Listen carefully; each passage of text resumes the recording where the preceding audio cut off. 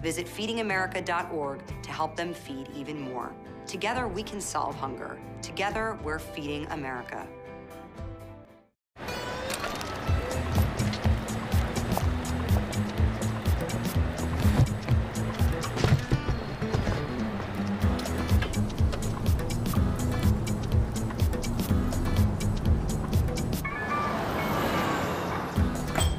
It's a short ride from your neighborhood to your naturehood. To find a neighborhood park or green space near you, visit discovertheforest.org. What makes your community feel like home? Is it knowing what's happening in your neighborhood? Or when people know your name? Connections make us a community. For more than 30 years, Northwest Community Television has connected citizens, neighbors, even sports fans through video.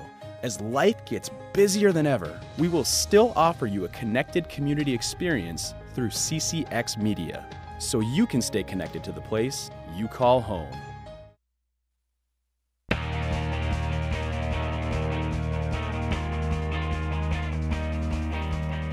The top-ranked Hopkins girls basketball team collides with second-ranked Wayzata on Friday night. This will be the first of what could be three meetings between the conference and section rivals, and the Royals are excited for the opportunity. Here's Jason Malone with more. You can't really call it just another regular season game.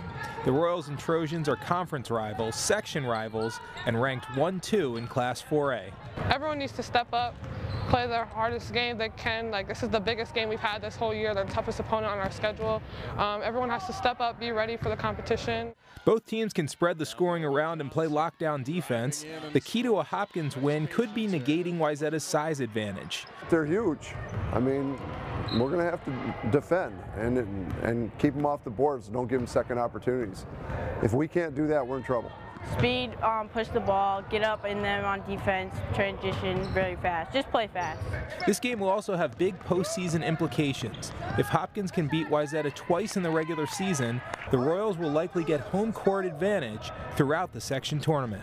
This is the first time in my 20 years that we've ever had a situation like this where, you know, number one seed gets home court advantage throughout. Um, we've always played at neutral.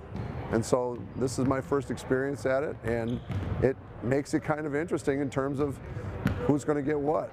It should be a great atmosphere at the Lindbergh Center on Friday night as two of the best girls basketball teams in the state go head to head. Jason Malillo, CCX Sports.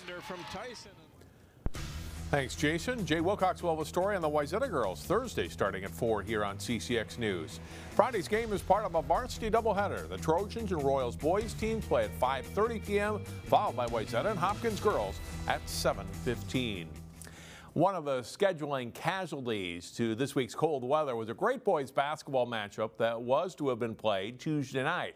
Breck, ranked sixth in Class 2A, was slated to host 2A's number one team, Minnehaha Academy. Breck is 14 and 3 this winter and on a four-game winning streak. They've won 10 of their past 11 contests.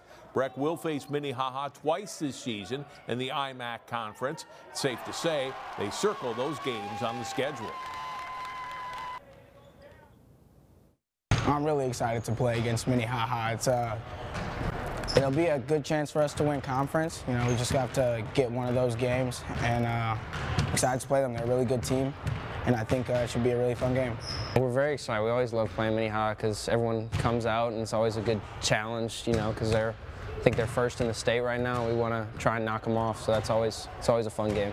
So it's going to be fun. Um, our kids always get up for it. Um, it's, it's, it's, usually a, a, good game, and um, you know, like I said, we'll hope to see uh, if my kids grew up a little bit more this year. Breck Activities Director Brett Burgundy tells us that Tuesday's post-pro game will likely be rescheduled for March 2nd at Breck. The first meeting between the teams is scheduled for February 12th at Minnehaha Academy. For most teams in our area, the regular season in girls hockey ends this Saturday. Section tournament play gets underway late next week. Saturday afternoon on CCX, tune in for live coverage of a Northwest Suburban Conference game between Osseo Park Center and Northwest Suburban Conference West Division leading Champlin Park Coon Rapids. It's a 3 p.m.